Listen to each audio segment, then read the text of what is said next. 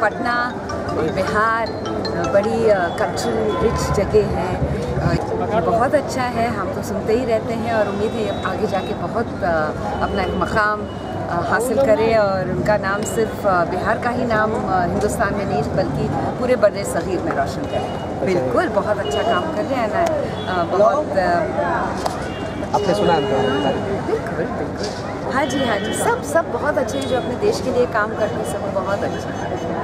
और खुश मिजाज